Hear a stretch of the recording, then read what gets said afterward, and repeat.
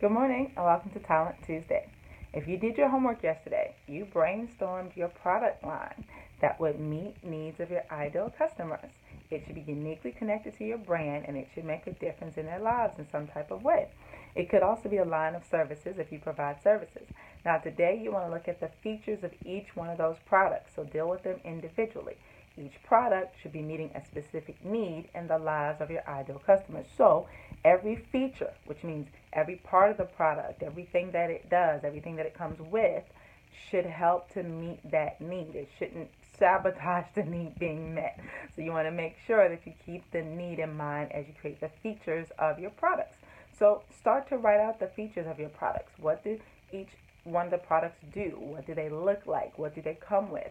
And how do all of these aspects of each product meet the need that each product is created to meet? We'll talk more about these products tomorrow. Have a wonderful work week. I'll see you then.